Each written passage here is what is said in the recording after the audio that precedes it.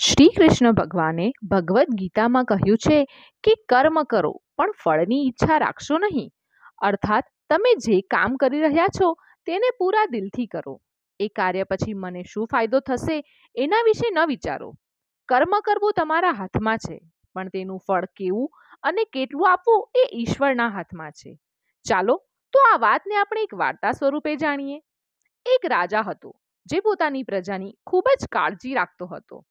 તેઓ તેમની પ્રજાની વચ્ચે જતા અને તેમની સમસ્યાઓ સાંભળતા. તેઓ પ્રયત્ન કરતા હતા કે એમની સમસ્યાઓ દૂર કરી શકે. રાજાની કર્તવ્યનિષ્ઠાની ચર્ચાઓ દૂર દૂર સુધી ફેલાઈ હતી. એક વખત રાજા પોતાના રાજ્યની મુલાકાત લેવા નીકળ્યા હતા. ત્યારે તેમના કુર્તાનું એક બટન તૂટી ગયું હતું. આ જોઈને રાજાએ તરત જ તેના મંત્રીને બોલાવ્યો અને તેને આદેશ આપ્યો કે ગામમાંથી કોઈ સારા દરજીને બોલાવો. જે તેના કુર્તાનું બટન લગાવી શકે. આ સાંભળીને મંત્રીએ ગામમાં દરજીની શોધ શરૂ કરી. યોગાનો યોગ તેને એક દરજી મળી પણ ગયો. ગામમાં તેની એક નાની દુકાન હતી. દરજીને ઝડપથી રાજા પાસે લાવવામાં આવ્યો. રાજાએ તે દરજીને પૂછ્યું કે શું તે તેના કુર્તા પર બટનને સીવી શકે છે? દરજીએ કહ્યું કે આ બહુ સરળ કામ છે. દરજીએ તેની થેલીમાંથી દોરો કાઢ્યો અને કુર્તાનું બટન લગાવ્યું. રાજા ખૂબ જ ખુશ થયો. અને તેને પૂછ્યું કે તમને કેટલા પૈસા આપવા જોઈએ? તેના પર દરજીએ કહ્યું કે તે આટલા કામ માટે પૈસા લઈ શકે તેમ નથી. આના પર રાજાએ કહ્યું કે તે ચોક્કસ કિંમત ચૂકવશે. દરજીએ વિચાર્યું કે તેણે તો બસ દોરો નાખ્યો છે. તેથી દરજીએ વિચાર્યું કે તેના બે રૂપિયા લઈ લેશે.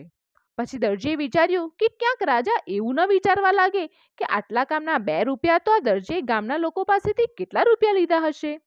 બધા વિચાર કર્યા પછી દરજીએ કહ્યું કે, રાજા, તેમની ઈચ્છા મુજબ જે આપશે તે લેશે. આ સાંભળીને રાજાએ તેને તેમની સ્થિતિ અનુસાર બે ગામ આપવાનું નક્કી કર્યું. રાજાએ કહ્યું કે, સમાજમાં તેનો દરજ્જો ઓછો ન થાય, તેથી તેણે આ આદેશ આપ્યો. દરજીએ મનમાં વિચાર્યું કે, ક્યાં તે બે રૂપિયા માગવાનો હતો અને ક્યાં તે બે ગામનો માલિક બની ગયો છે?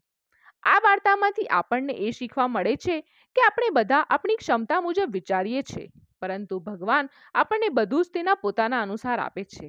આપણે નાનું માગીએ છીએ અને કેટલીક વાર ભગવાન તેની આપવાની ક્ષમતાના આધારે આપણને કંઈક સારું અને મોટું આપે છે.